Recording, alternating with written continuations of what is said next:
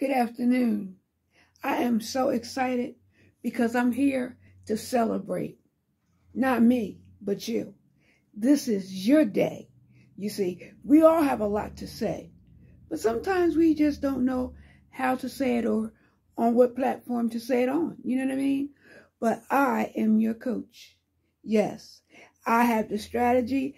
I have the keys to self-publishing. And I want to help you to get your book out there. Okay, I have seven books under my belt. Yes, and I am ecstatic about it, okay? And so I want to help you get your book out there. I have a ebook that you can download and be able to follow the steps from thought to the printed word. I also have a voiceover presentation. Oh, we got a lot going on, okay? So follow me on Instagram, Separating Realities, on Facebook, Separating Realities. You can even look me up under my name, Crystal Baynard Norman.